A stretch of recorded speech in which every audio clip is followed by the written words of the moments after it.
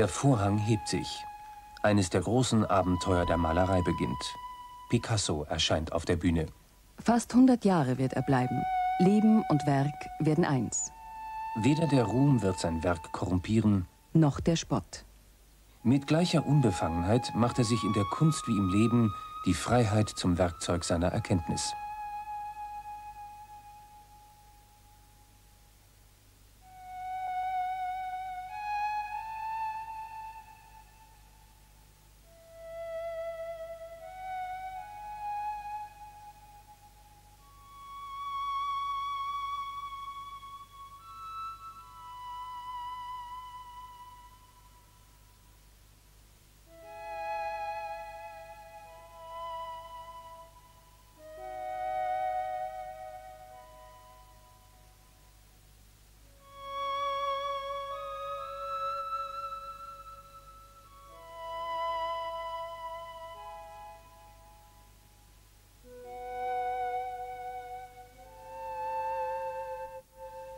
Was immer er sich zum Thema wählt, seine Werke werden zu Fixpunkten der Zeitgeschichte.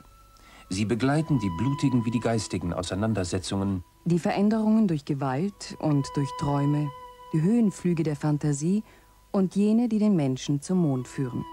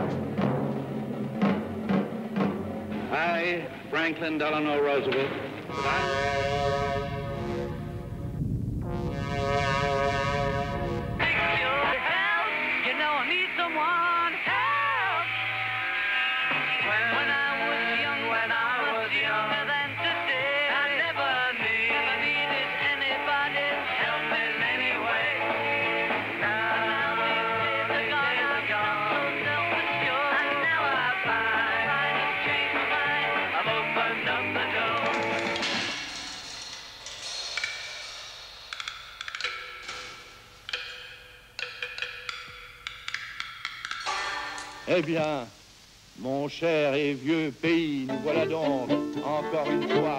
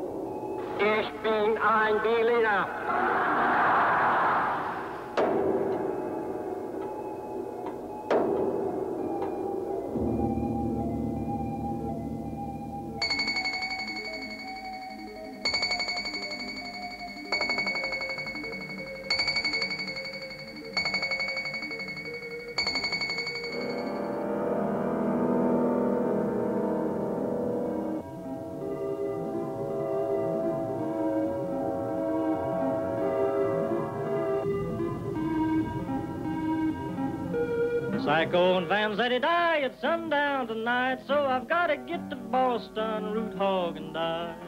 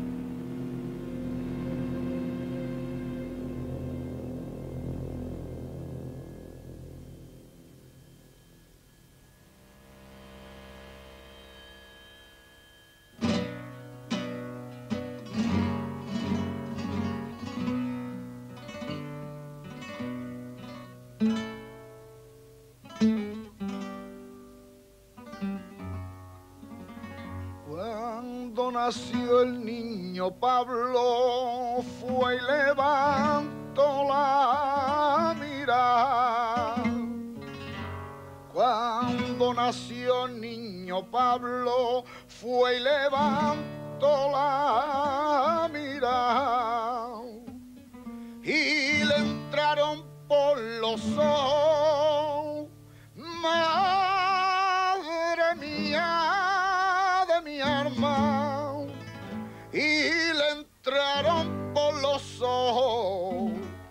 Cien almendros y la mar.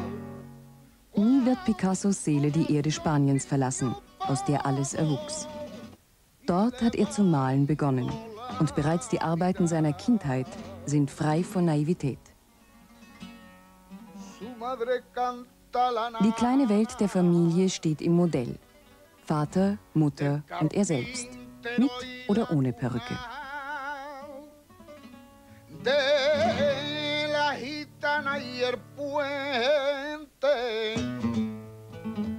de la gitana y el puente, y los cuernos de la luna, y los cuernos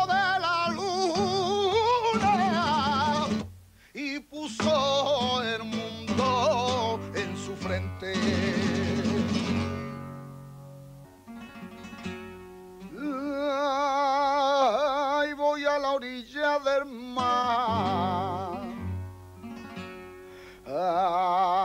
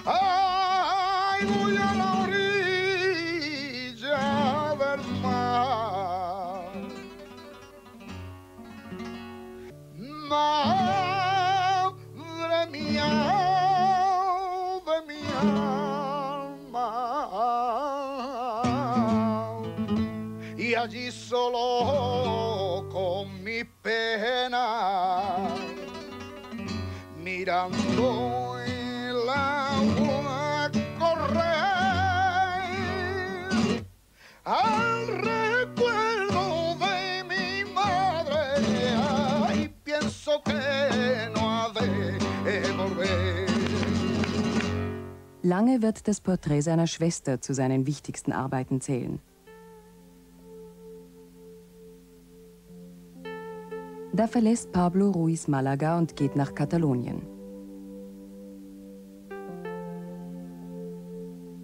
Barcelona.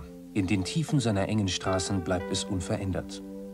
Picassos Selbstporträts, gebrannt im Feuer katalanischen Ideenreichtums, finden Eingang in die Cafés. Die Arbeiten der Maler und Schriftsteller, die diesen gleichen Wurzeln entstammen, sind hier noch heute hinter Glas zu sehen. Der tote Freund lebt im Museum unaufhörlich seinen Tod, so wie Picasso ihn durch sein Bild beweinte.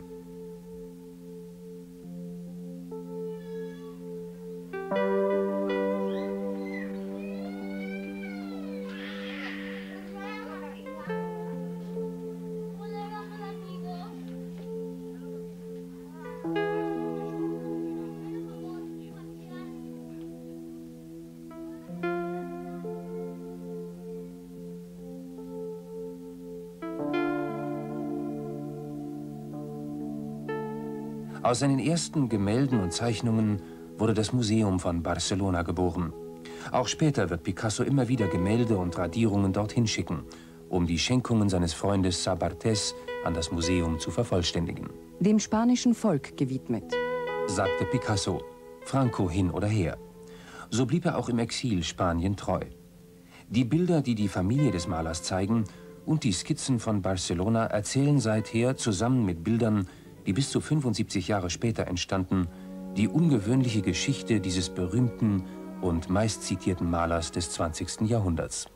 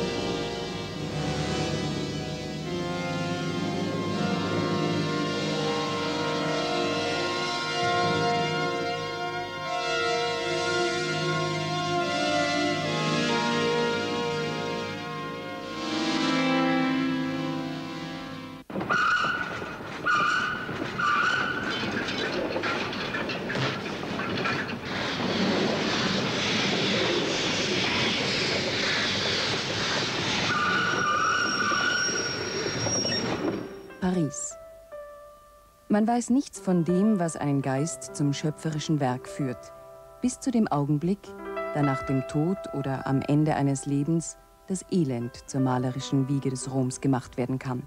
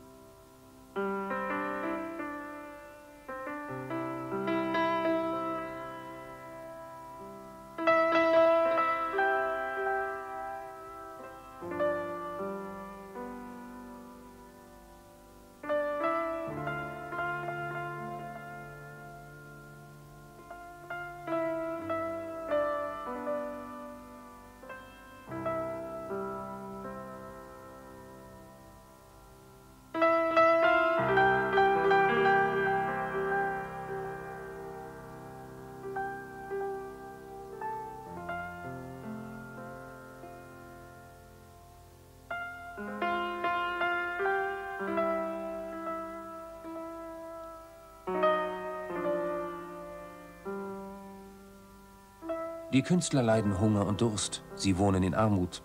Doch sie nähren sich gegenseitig mit Ideen. Sie stärken sich gegenseitig im Konflikt.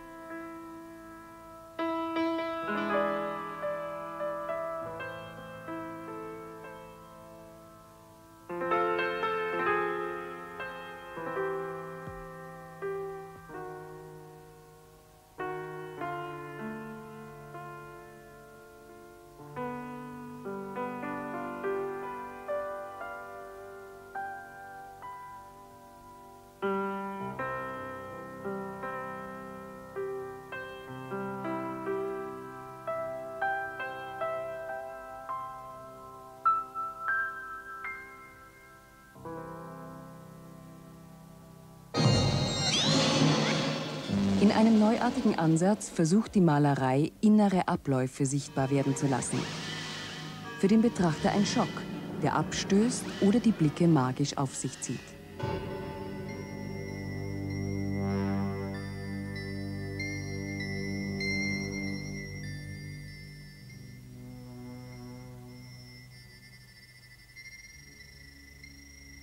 Als im Bateau Lavoir die Demoiselles d'Avignon entstehen, werden sie zum Brennpunkt, an dem alle Ablehnung sich entzündet und alsbald in Hass umschlägt.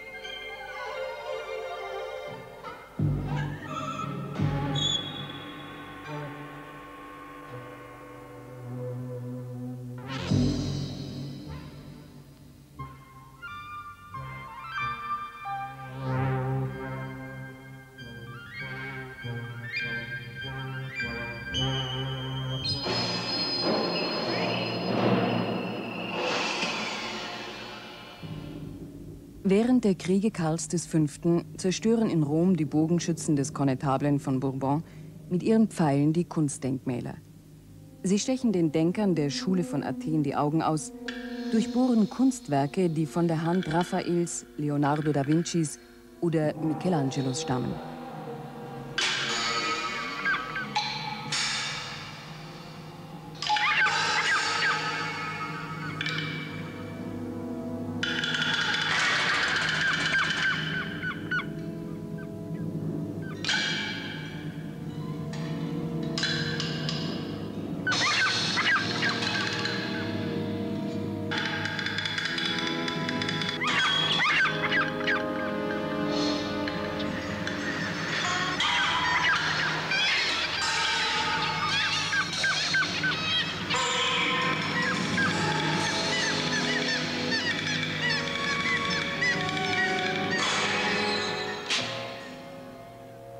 Italienischer Schriftsteller, Giovanni Papini, veröffentlichte nach dem Krieg in Rom in einem Schwarzbuch ein erfundenes Interview mit Picasso, ohne ihm jemals in seinem Leben begegnet zu sein.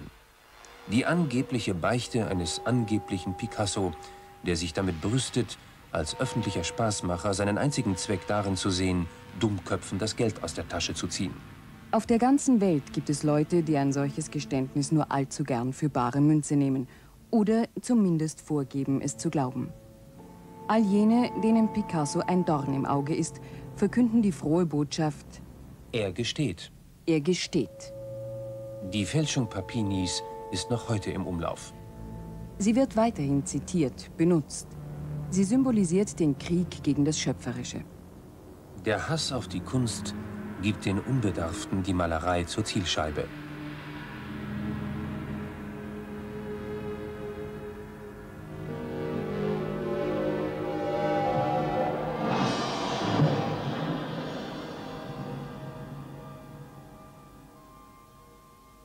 Wann wird man in aller Öffentlichkeit zugeben, dass die Kunst dazu beiträgt, die eigenen Grenzen zu überschreiten, durch die Augen und den Kopf eines anderen zu sehen, zu entdecken, was jener als seine Wirklichkeit erkennen kann?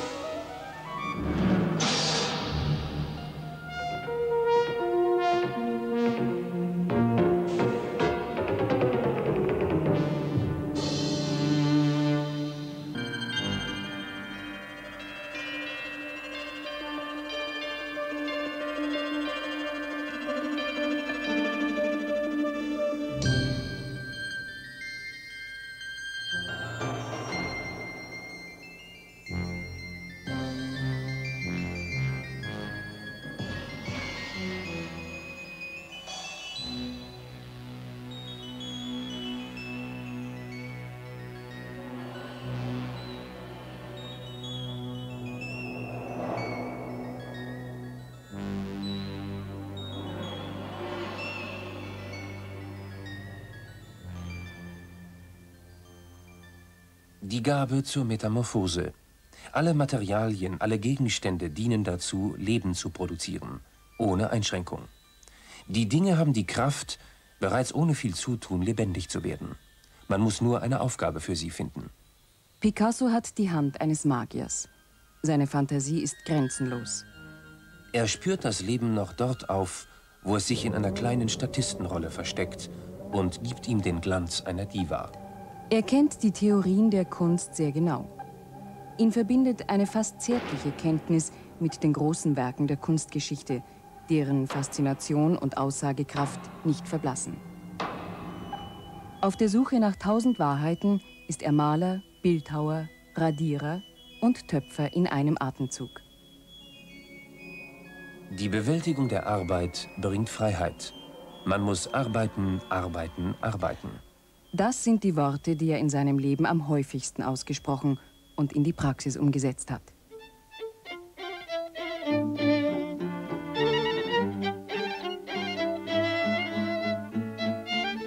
Der Drucker der Picasso-Lithografien, Mourlot, erinnert sich. Monsieur Picasso, sagte ich, als wir uns begrüßten, ich bin sehr erfreut, Sie kennenzulernen. Den Monsieur können Sie sich sparen, erwiderte er.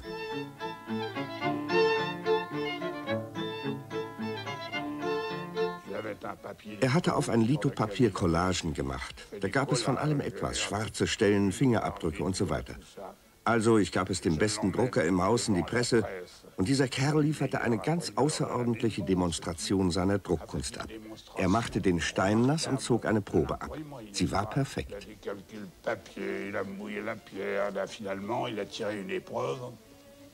C'était parfait.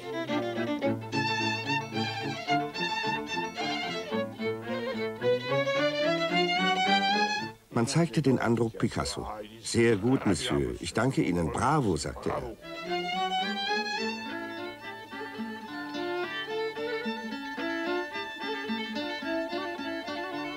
Er hat dann bei uns mit Célestin gearbeitet und einem alten Faktotum, den wir Vater Tutin nannten. Ein hervorragender Drucker übrigens.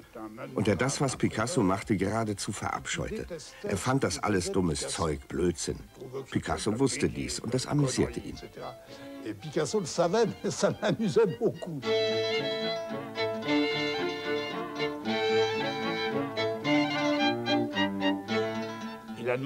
Picasso bat um Ratschläge, die er nie befolgte.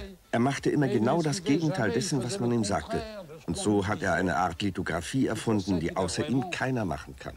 Recréer un genre de lithographie que personne ne peut faire.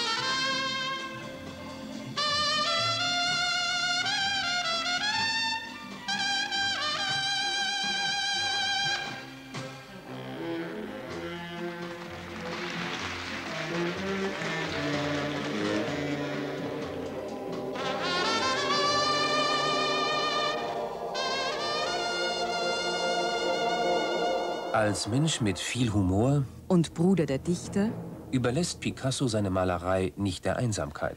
Überall, wo das Glück und die Fantasie zu Hause sind, bringt er sie ein. Er liebt die traurigen und komischen Gesichter des Zirkus. Er hat eine Schwäche für Musiker und Rennfahrer. Er ist ein Freund der Clowns und Harlekine. Seine Arbeit am Theater bei Diaghilev und Strawinski lässt lebendige Figuren und nie gesehene Bilder entstehen. Die Malerei ist ein Fest. Sie kann Feste entfesseln. Feste verzaubern.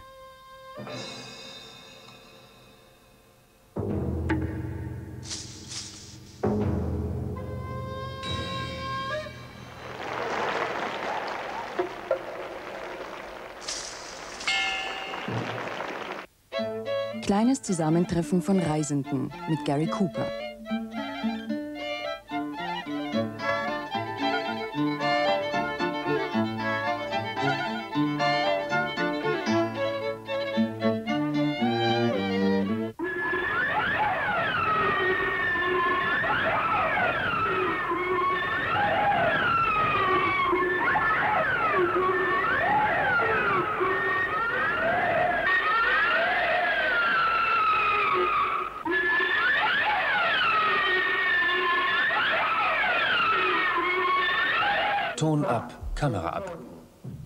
Üblichen kleinen Schwierigkeiten bei solchen Filmaufnahmen.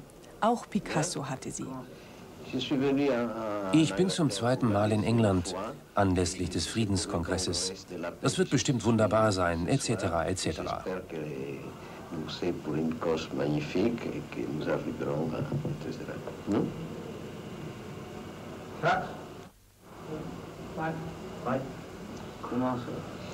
Je suis venu pour la deuxième fois en Angleterre et c'est pour le congrès de la paix que je suis venu.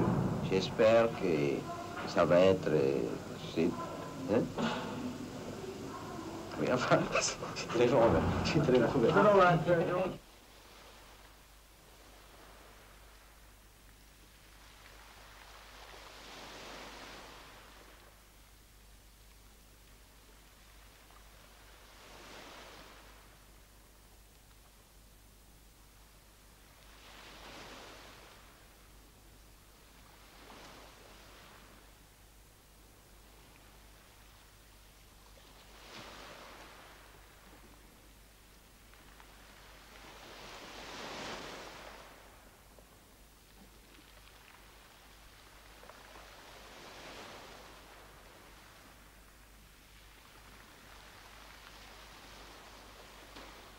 Es war einmal ein schönes Schloss über den Mauern von Antibes. Ein Konservator des Museums bietet Picasso an, dass er die Räume nach seinen Vorstellungen ausfüllen könne. So beginnt ein ungewöhnliches Märchen in der Malerei. Zum ersten Mal wird ein Maler Werke schaffen für einen Raum, der ihm mit der Vollmacht überlassen wurde, alle Möglichkeiten auszuschöpfen, nach Belieben damit umzugehen. Exponat und Museum entstehen gleichzeitig. Es wird in jeder Hinsicht das Museum der Lebensfreude sein.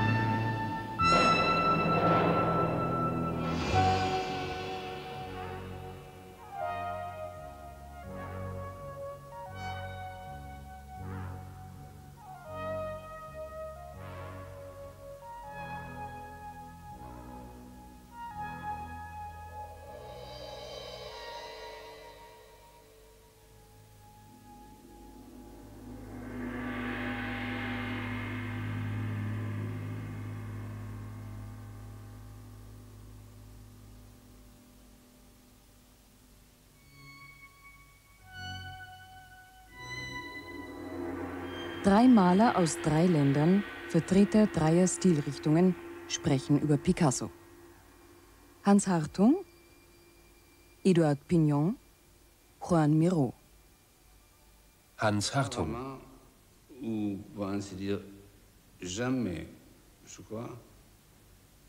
Ich glaube, ich habe noch nie einen Menschen von solcher Intensität gesehen, von solch einer natürlichen Kraft wie Picasso, ohne dass etwas Übertriebenes von ihm ausgegangen wäre. Man hatte bei ihm immer ein wenig das Gefühl, einen Stierkämpfer vor sich zu haben. Den Mann, der die ganze Arena beherrscht, der alles sieht, immer zum Angriff bereit ist. Sein Sinn für Humor gepaart mit seinem Sinn für das Dramatische und das alles mit Vehemenz und Treffsicherheit, mit einer unglaublichen Schärfe des Strichs, mit dem Wissen um das Absolute. Da kann man nicht sagen, das ist Picasso oder das ist Picasso. Nein, alles zusammen ist Picasso. avec le sens du dramatique, tout ça côte à côte, d'une rapidité, d'une justesse, d'une incision, d'un trait, d'une certitude, d'une absolue. Et on ne peut pas dire Picasso, ça c'est Picasso ou ça c'est Picasso. Non, tout ça c'est Picasso.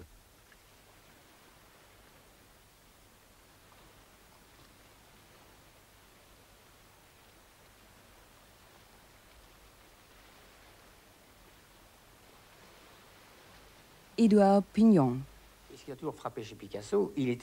Was mich an Picasso verblüfft hat, war, dass er wie ein ganz junger Maler wirkte. Trotz seines Ruhmes, seines Alters, seiner Kenntnis der Welt und der Malerei. Er wartete immer auf die Reaktion des Betrachters. Er war das Gegenteil eines Lehrmeisters. Man spürte einen Mann, der ständig auf der Lauer lag, etwas Neues schaffen zu können. Das hat ihm bis zum Schluss seine Jugendlichkeit bewahrt. Was für ihn zählte, war allein das Machen, Reden existierte nicht für ihn, nur das Werk zählte.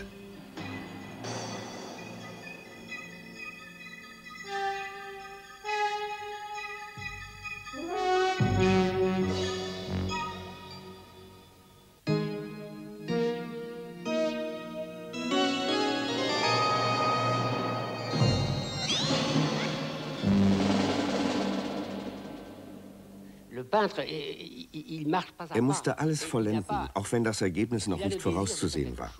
Es schien da einen Weg zu geben, den sein Geist ging, eine Art unbewusste Kurslinie, die ihn von der Skizze zur Vollendung des Gemäldes führte.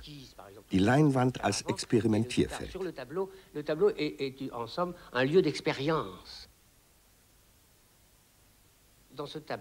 In jedem Bild, in jeder Arbeit ist bereits angedeutet, was später kommen wird, wessen sich der Künstler selbst noch nicht bewusst ist. Aber er ist bereits auf der Suche danach.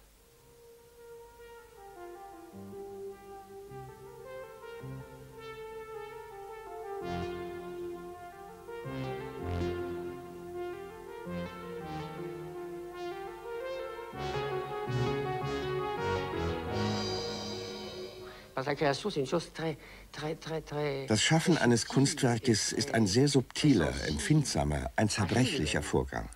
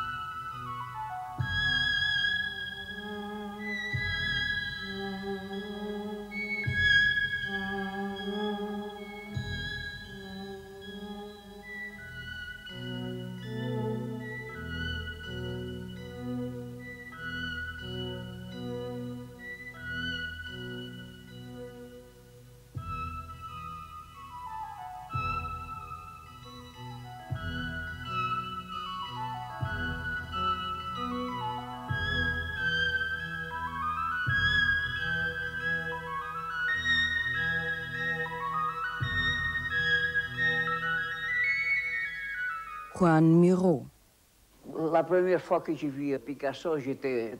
Als ich Picasso zum ersten Mal begegnete, war ich vollkommen aufgewühlt, war wie getroffen von seinem Blick, eingeschüchtert.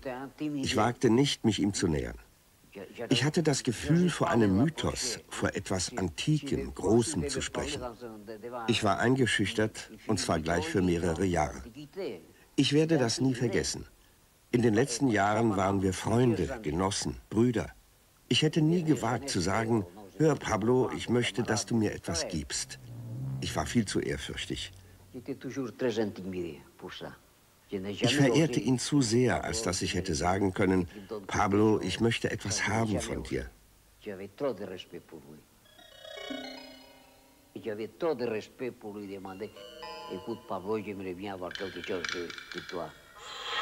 Er hat die Bilanz der ganzen Kunstgeschichte gezogen. Und das hat uns in der folgenden Generation erlaubt, die Diskussion mit einem sehr viel weiteren Horizont zu führen mit mehr Freiheit. Er hat sozusagen die schwachsinnige Seite der Malerei sichtbar gemacht.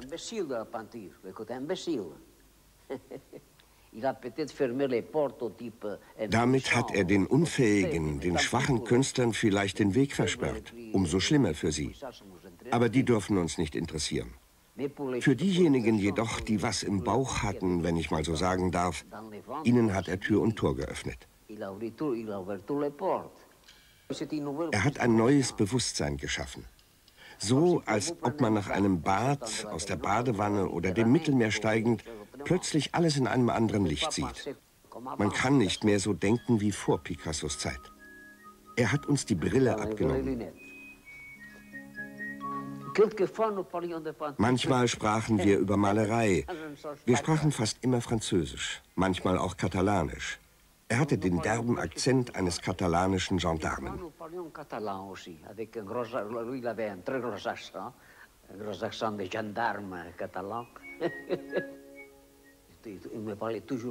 Er redete ständig über Spanien zu mir, immer und immer wieder. Er war wie besessen davon.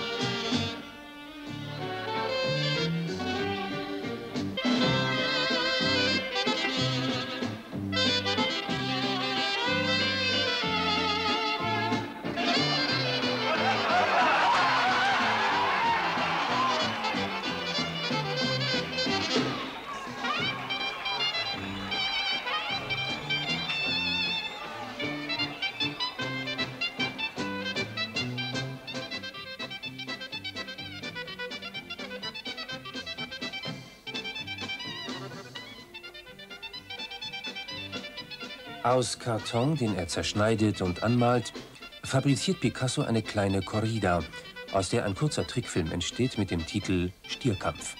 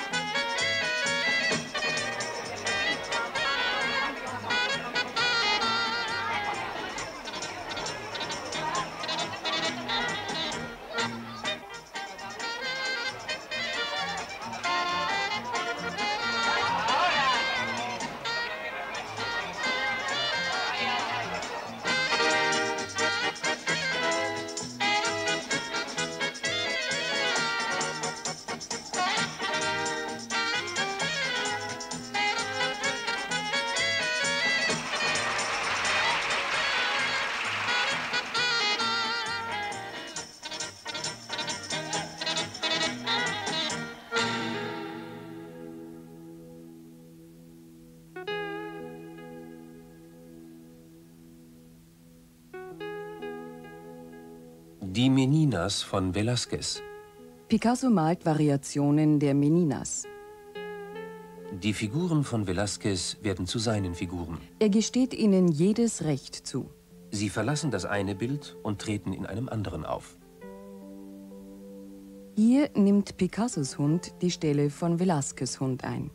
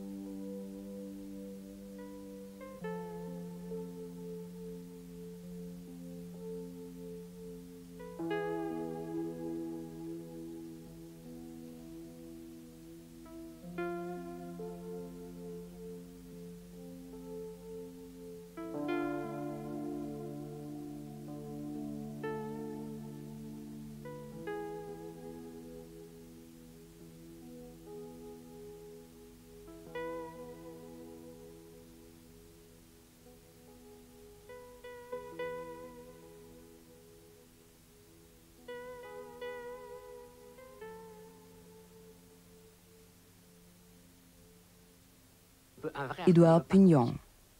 Ein richtiger Künstler kann gar nicht kopieren. Selbst wenn Picasso eine Kopie machen wollte, gelänge ihm das nicht. Unbewusst transformiert er das Original. Er macht einen Picasso daraus. 1936, der spanische Bürgerkrieg. Viva España! Viva España!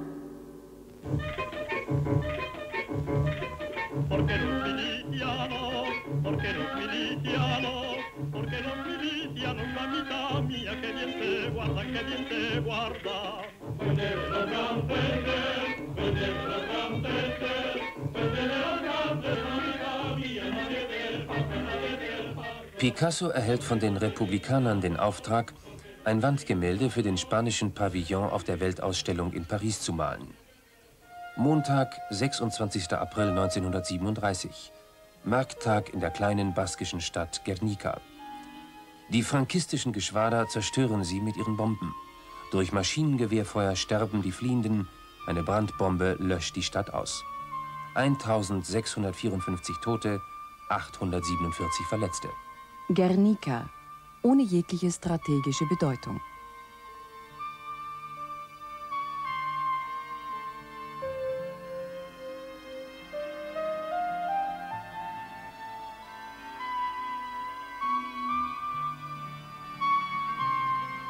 Picasso beschließt, sofort für den spanischen Pavillon auf der Pariser Weltausstellung 1937 ein Mahnbild mit dem Titel Guernica zu malen. Seither erscheint dieser Aufschrei der Malerei überall in der Welt wie eine Waffe, wie eine materialisierte Verzweiflung, die zum Widerstand gegen jede Unterdrückung aufruft, gegen jedes Massaker an Unschuldigen.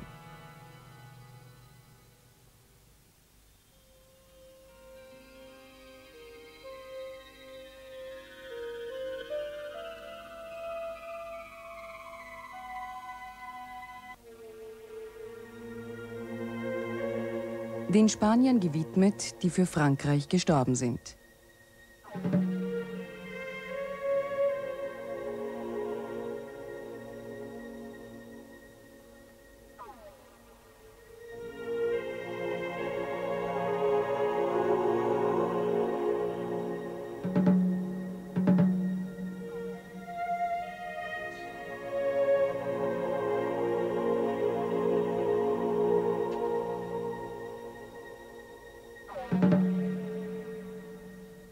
Massaker in Korea.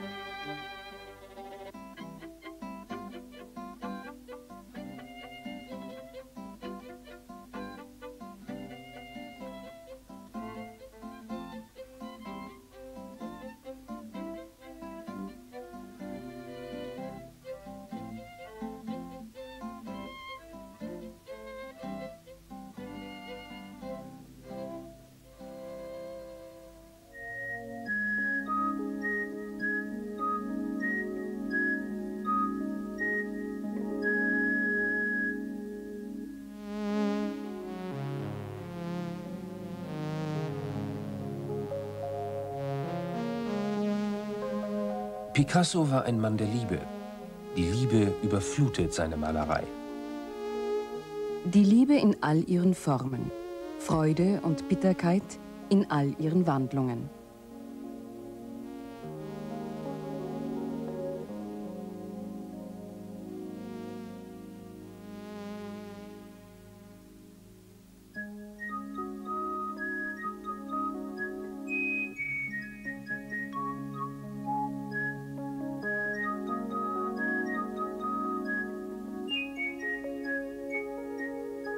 Seine Malerei hat von allem Besitz ergriffen. Sie hat alle Frauen, die in diesem langen Leben eine Rolle spielten, mit sich genommen und bewahrt. Sie hat ihnen eine ewige Jugend geschenkt. Beide, Bilder wie Frauen, wurden unsterblich in seinem Spiel mit ihren Gesichtern und Körpern, in allen Materialien und Variationen.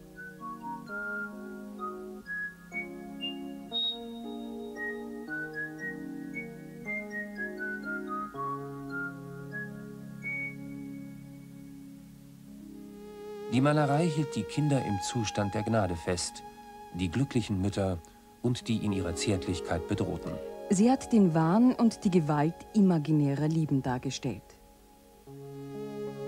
Picasso vergaß dabei nicht die Liebe der Minotauren und der Faune. Die Liebe wie im Märchen, die kurze Liebschaft, die käufliche Liebe, die unerreichbare Liebe. Und die verrückte Liebe, die bis zum Letzten geht.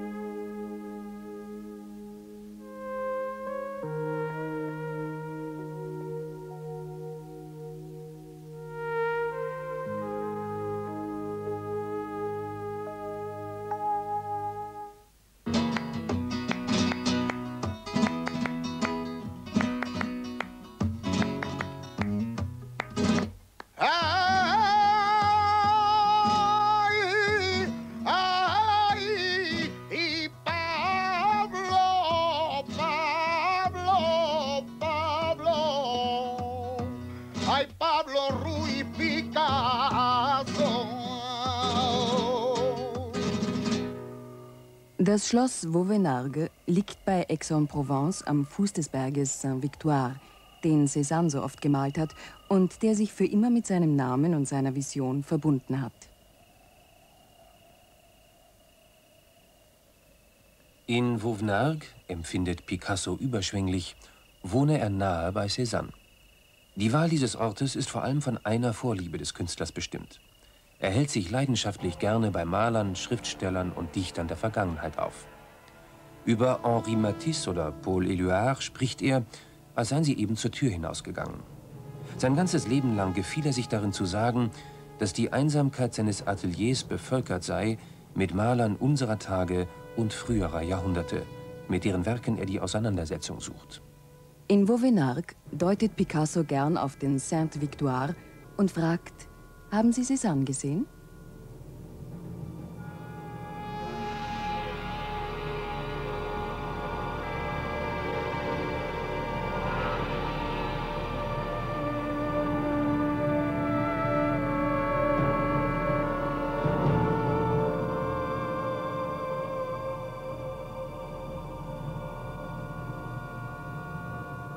Die Werke aus Picassos letzten Lebensjahren wurden in zwei Ausstellungen im Papstpalast von Avignon gezeigt.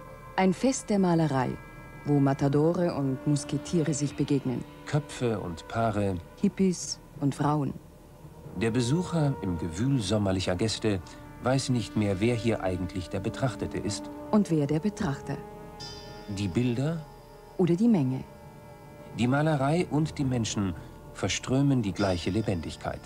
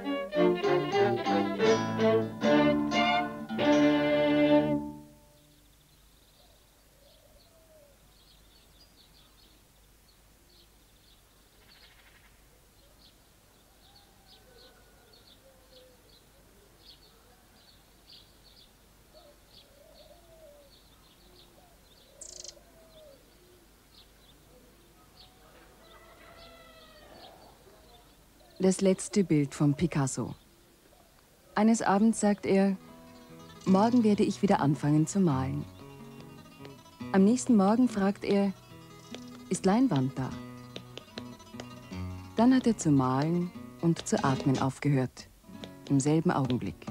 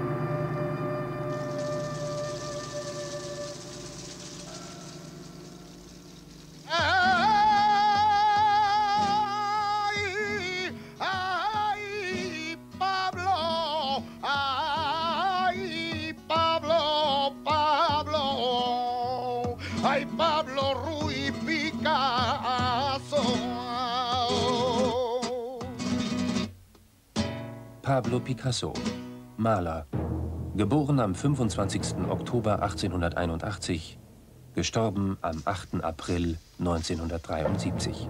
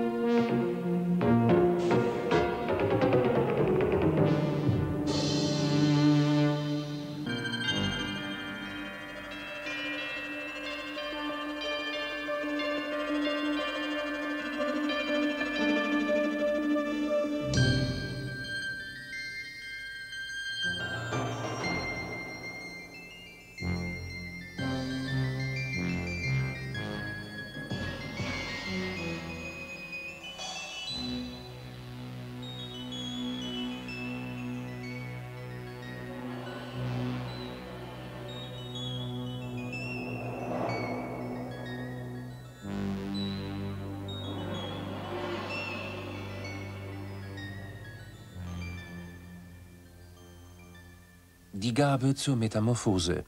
Alle Materialien, alle Gegenstände dienen dazu, Leben zu produzieren, ohne Einschränkung.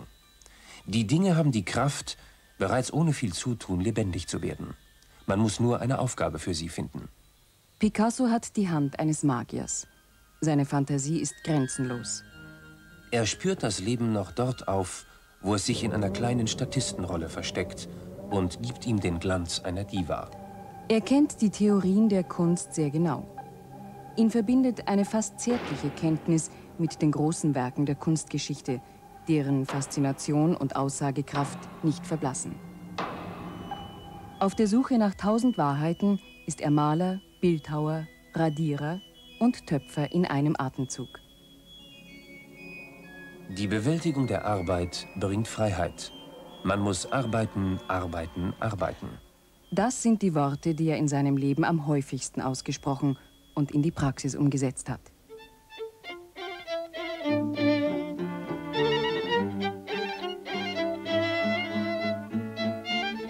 Der Drucker der Picasso-Lithografien, Mourlot, erinnert sich. Monsieur Picasso, sagte ich, als wir uns begrüßten, ich bin sehr erfreut, Sie kennenzulernen. Den Monsieur können Sie sich sparen, erwiderte er.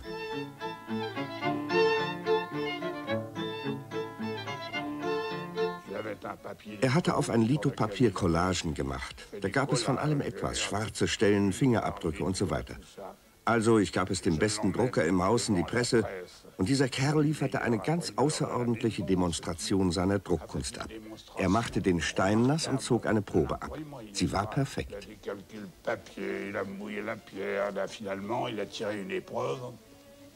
C'était parfait.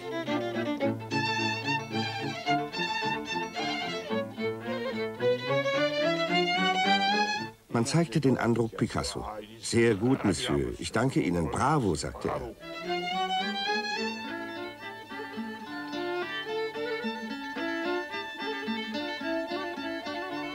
Er hat dann bei uns mit Célestin gearbeitet und einem alten Faktotum, den wir Vater Tutin nannten. Ein hervorragender Drucker übrigens. Und der das, was Picasso machte, geradezu verabscheute. Er fand das alles dummes Zeug, Blödsinn. Picasso wusste dies und das amüsierte ihn. Et Picasso le savait, mais ça l'amusait beaucoup.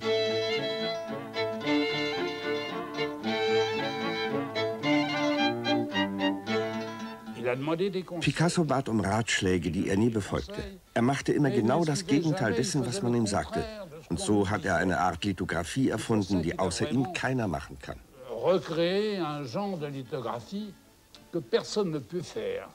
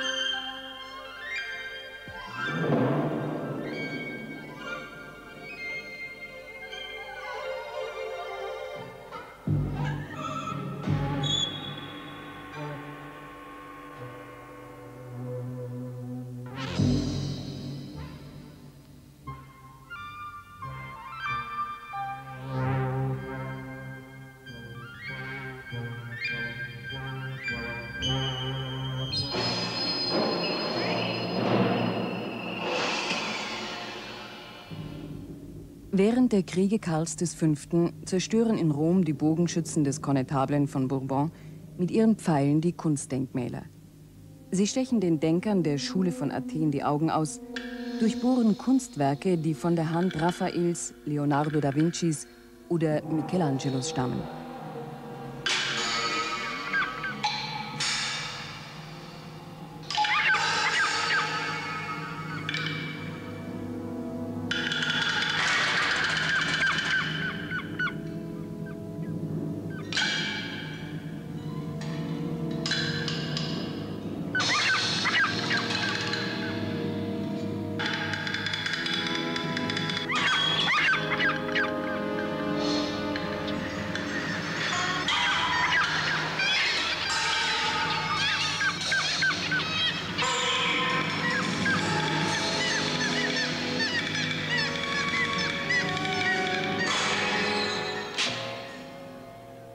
Ein italienischer Schriftsteller, Giovanni Papini, veröffentlichte nach dem Krieg in Rom in einem Schwarzbuch ein erfundenes Interview mit Picasso, ohne ihm jemals in seinem Leben begegnet zu sein. Die angebliche Beichte eines angeblichen Picasso, der sich damit brüstet, als öffentlicher Spaßmacher seinen einzigen Zweck darin zu sehen, Dummköpfen das Geld aus der Tasche zu ziehen. Auf der ganzen Welt gibt es Leute, die ein solches Geständnis nur allzu gern für bare Münze nehmen – oder zumindest vorgeben, es zu glauben. All jene, denen Picasso ein Dorn im Auge ist, verkünden die frohe Botschaft, er gesteht. Er gesteht. Die Fälschung Papinis ist noch heute im Umlauf. Sie wird weiterhin zitiert, benutzt. Sie symbolisiert den Krieg gegen das Schöpferische. Der Hass auf die Kunst gibt den Unbedarften die Malerei zur Zielscheibe.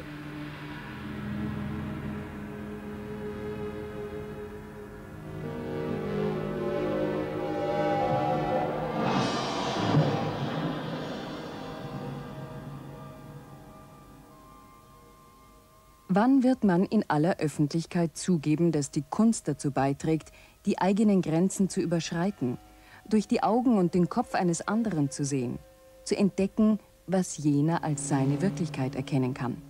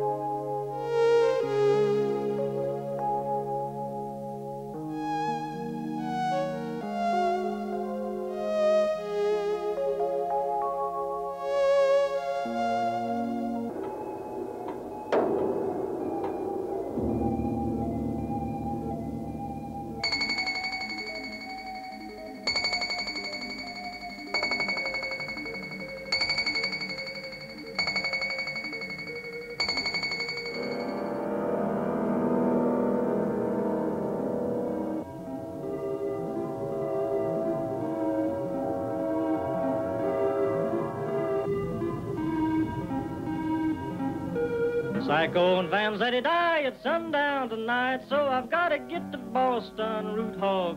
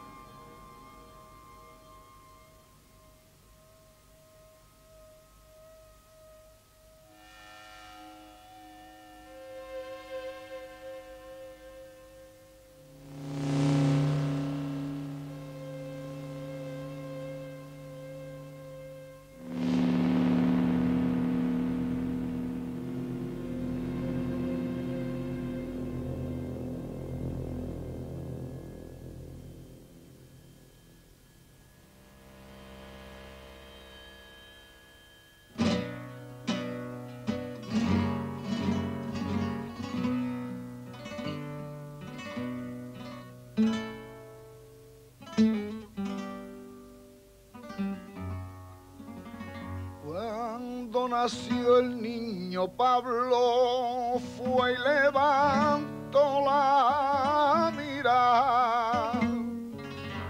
Cuando nació el niño Pablo, fue y levantó la mirada. Y le entraron por los ojos.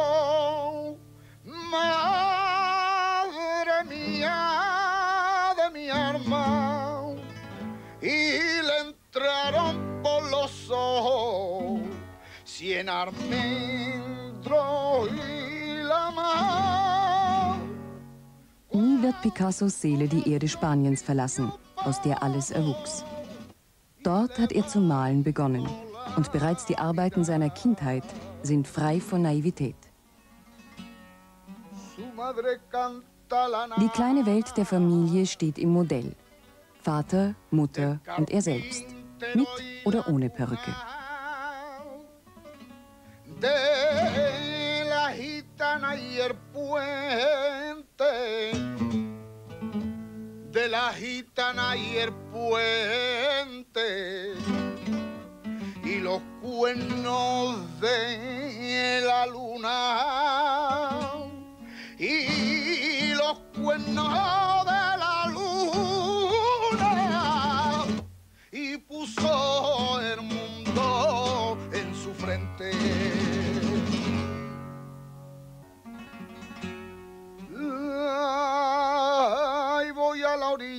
enferma. Ah,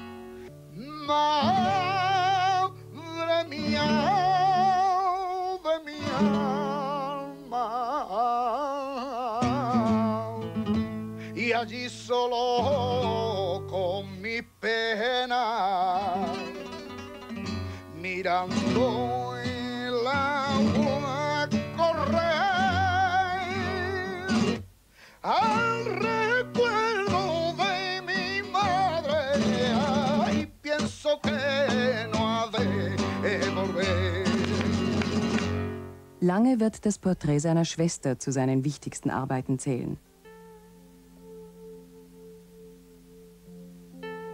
Da verlässt Pablo Ruiz Malaga und geht nach Katalonien. Barcelona. In den Tiefen seiner engen Straßen bleibt es unverändert. Picassos Selbstporträts, gebrannt im Feuer katalanischen Ideenreichtums, finden Eingang in die Cafés. Die Arbeiten der Maler und Schriftsteller, die diesen gleichen Wurzeln entstammen, sind hier noch heute hinter Glas zu sehen. Der tote Freund lebt im Museum unaufhörlich seinen Tod, so wie Picasso ihn durch sein Bild beweinte.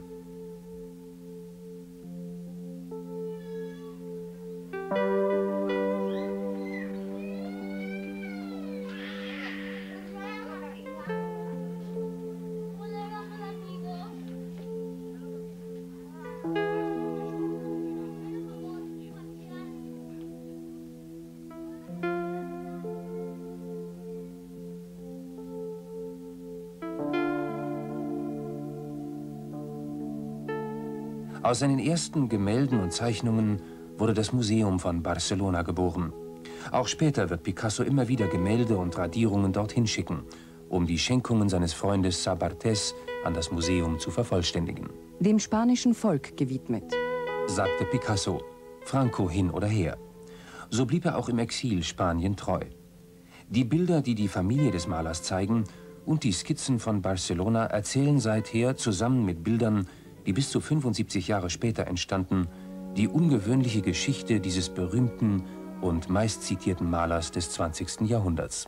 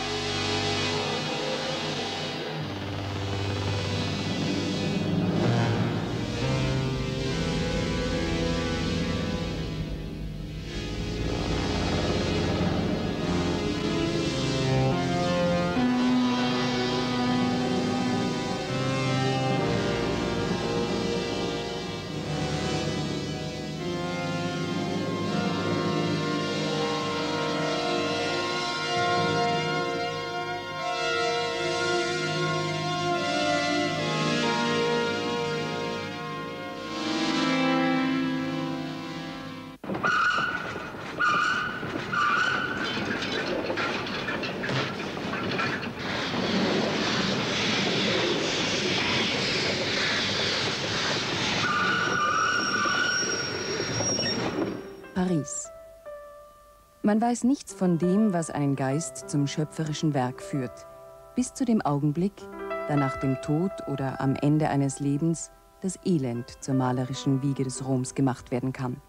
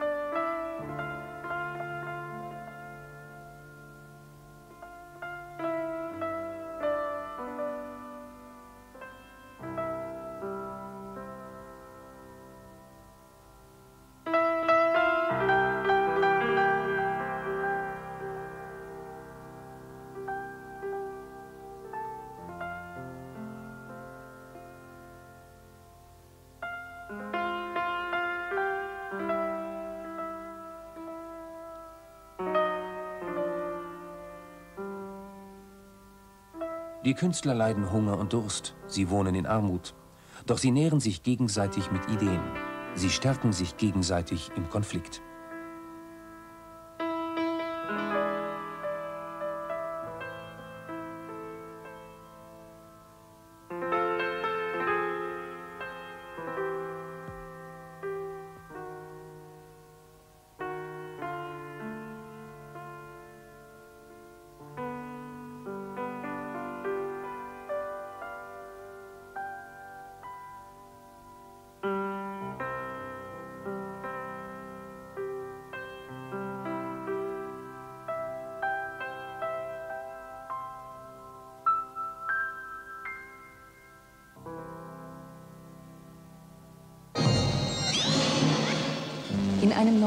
Ansatz versucht die Malerei, innere Abläufe sichtbar werden zu lassen.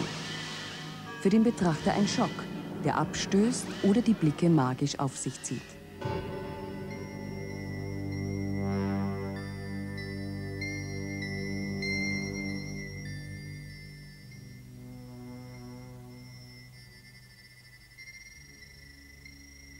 Als im Bateau Lavoir die Demoiselles d'Avignon entstehen, werden sie zum Brennpunkt, an dem alle Ablehnung sich entzündet und alsbald in Hass umschlägt.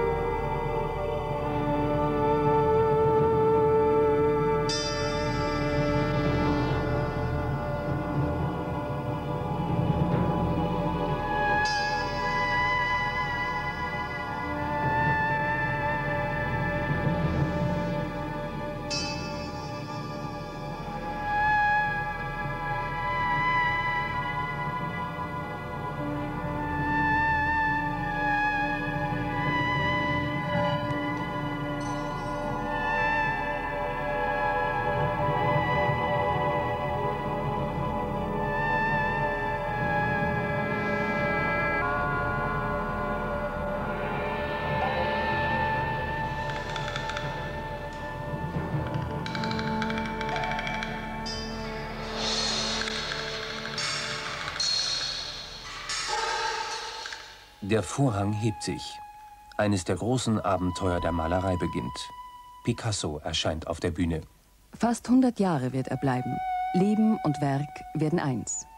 Weder der Ruhm wird sein Werk korrumpieren, noch der Spott. Mit gleicher Unbefangenheit macht er sich in der Kunst wie im Leben die Freiheit zum Werkzeug seiner Erkenntnis.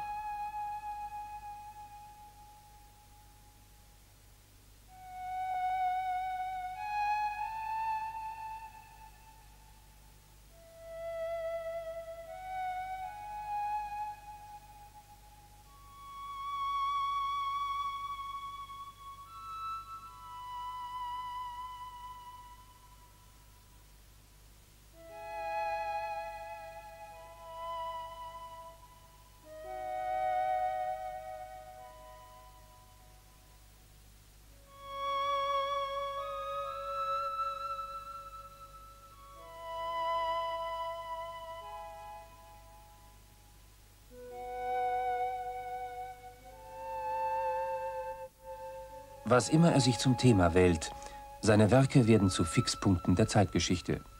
Sie begleiten die blutigen wie die geistigen Auseinandersetzungen, die Veränderungen durch Gewalt und durch Träume, die Höhenflüge der Fantasie und jene, die den Menschen zum Mond führen.